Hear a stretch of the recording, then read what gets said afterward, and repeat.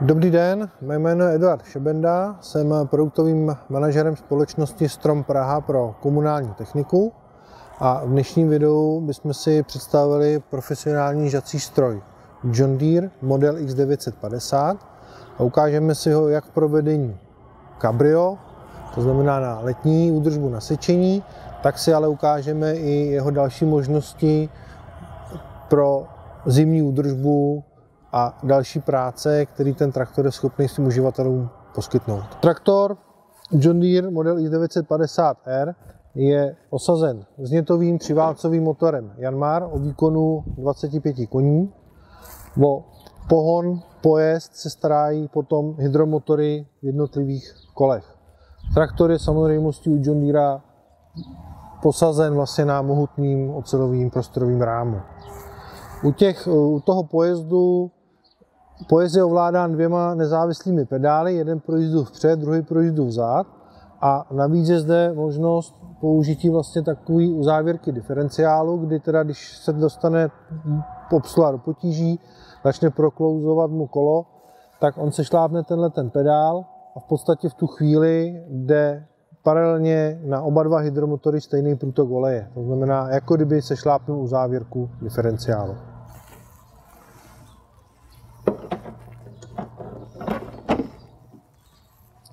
Žací traktor John Deere X950R může být ve čtyřech různých specifikacích.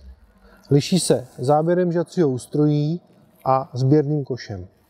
Žací ústrojí standardně je dodávaný 120, o záběru 122 cm a volitelně může mít záběr 137 cm a sběrací koše jsou buď s výškovým zdvihem, anebo bez výškového zdvihu kdy ten bez výškového zdvihu má objem 570 litrů a sběrací koš s výškovým zdvihem má objem 650. Traktor je vybaven odpruženou sedačkou, buď mechanicky, anebo na přání může uživatel zvolit i vzduchem odpruženou sedadlo.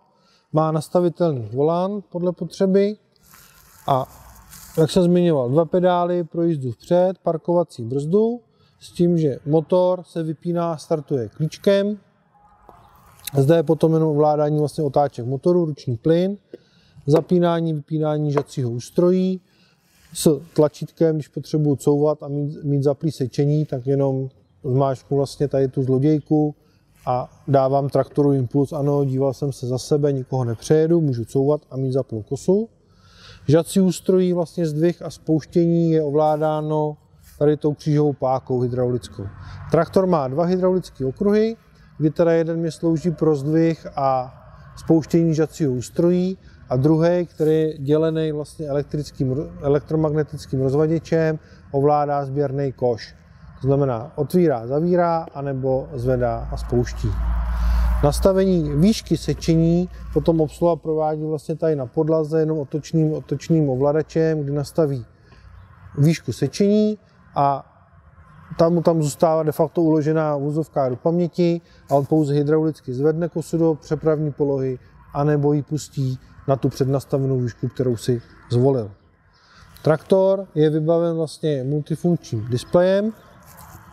Ten displej vedle toho, že ukazuje základní parametry, jako jsou otáčky motoru, hladina paliva v nádrži, a samozřejmě běžný výstrahy, který znáte z automobilu, to znamená mazání, ucpaný vzduchový filtr, případně indikaci, že je třeba provést pravidelná údržba, tak je tady ukazatel vlastně združený, který ta obsluha si volí na, vybírá si, jestli to bude ukazovat naplnění sběrného koše, anebo úroveň vlastně nabití startovací baterie. Traktor je vybaven dvěma hydraulickými okruhy. Oba dva okruhy obsluha ovládá společnou křížovou pákou. Vpravo, vlevo ovládám zdvih anebo spouštění žacího ústrojí, nahoru dolů potom ovládám zvedání sběrného koše, případně tlačítkem ten samý okruh já dělím a koš otvírám nebo zavírám.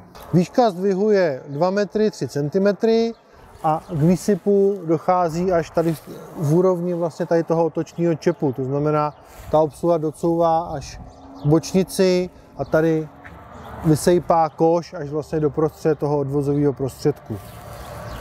Koš má zajištění tísnic pro případnou obsluhu, pro údržbu, to znamená zajistím a můžu tady vyčistit, vyčistit ten tunel, případně tady provádět nějakou běžnou údržbu.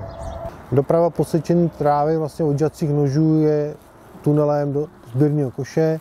Výhozový tunel je teda navíc vybaven vlastně čistící klapkou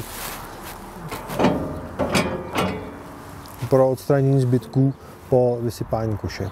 Pokud chce obsluha sekat bez sběrného koše, odlistí dva čepy, koš odloží, odpojí hydrauliku a nasadí tady ten ochranný deflektor, tady vlastně tok toho materiálu potom směřuje za traktor k zemi a zabraňuje případnému nežádoucímu odletu kamenů. Pokud je potřeba, traktor je možný vybavit celou prosklenou kabinou. Kabina je vytápěná, vybavená v základu přídavným pracovním osvětlením a v kabině je potom i tapicíruň, který zvyšuje komfort obsluhy, protože odlučuje veškeré vibrace a hluk motoru. Dalšími volitelnými prvky výbavy je homologační sada, kdy traktor teda má jiná, jiný přední světlomety, má směrová světla vepředu, vzadu na, na kabině, respektive na ochranném rámu, držák registrační značky, klakson, zpětná zrcátka a v tu chvíli teda se smí legálně pohybovat po veřejných komunikacích. Dalším prvkem výbavy, který tady vidíte, je přední tříbodový závěs. Zmiňoval jsem, že traktor má dva hydraulické okruhy, vy jedním okruhem v tu chvíli ovládáte vlastně zdvih a spouštění tříbodového závěsu a druhým okruhem potom ovládáte nářadí. Máme traktor vybavený kabinou, máme na traktoru přední tříbodový závěs, tak snadno ho můžeme vybavit dalším nářadím. Už je to sněhová radlice, ať už je to přední zametáč, může tam být i případně sněžná fréza. Sněhové radlice dodáváme od německé firmy Matev, Tady vidíte zástupce s pracovým záběrem 140 cm, celoodpružený vlastně štít. Máme v nabídce i sněhové radice, které mají segmentový břit a jištěný jenom ten vlastní břit. Dalším příslušenstvím, který můžeme traktor vybavit, je přední zametací kartáč. Nabízíme opět stejná značka, jako je byla radlice, tak je přední zametací kartáč od německé společnosti Matev. Kartáč je vybaven letním výpletem pro odmetání nečistot, alternativně nabízíme vlastně i zimní výplet na zametání sněhu. Kartáč má vepředu ochranu plachtu pro zamezení zase odletu kamínků, aby nedošlo nějakému poškození okolo stojících automobilů. Když je zametací kartáč používá na zimní údržbu, na odmetání sněhu, tak se plachta odstraní a zůstane jenom ten přední ochranný štít. Říkali jsme, že traktor má dva hydraulické okruhy, jeden zvedá spouští celý tříbodový závěs a teda nářadí a druhý hydraulický okruh, ten slouží vlastně k přetáčení zleva doprava toho zametače nebo případně ty sněhové radlice. Zametací kartáče firmy Matev mají navíc i standardně příčný vyrovnávání. To znamená, když ten traktor pojede už kolem po obrubníku, druhým kolem po dlažbě, ten zametací kartáč se furt srovnává do roviny. Kartáče jsou vybavený v základu opěrnými koly. Takže od zametače a radlice v přední části jsme se přesunuli do zadu traktoru. Tady je pověšený elektricky poháněný sypáč od německé společnosti Adler. Tady konkrétně model o objemu 200 litrů. Pracovní záběr nebo rozhoz toho materiálu je až 6 metrů šířky. Sypáč, byť je poháněný elektricky, protože traktor nemá zadní vývodovou řídel, tak zvládne vedle soli, písku házet i jemný štěrk. Sypáč je ovládán pomocí Bluetooth technologie přes mobilní telefon. Ta obsluha ovládá jak šíři rozhozu, kontinuálně ovládá dávku, kterou potřebuje házet, případně ovládá samozřejmě start-stop celého systému do těch, podle těch přednastavených hodnot. V okamžiku, kdy tady dojde materiál, tak automaticky snímač vyhodnotí, že se vlastně oběhový kolo točí rychle to rozhozový, nebo má malý odběr a indikuje to v obsluze, že má prázdný sypač.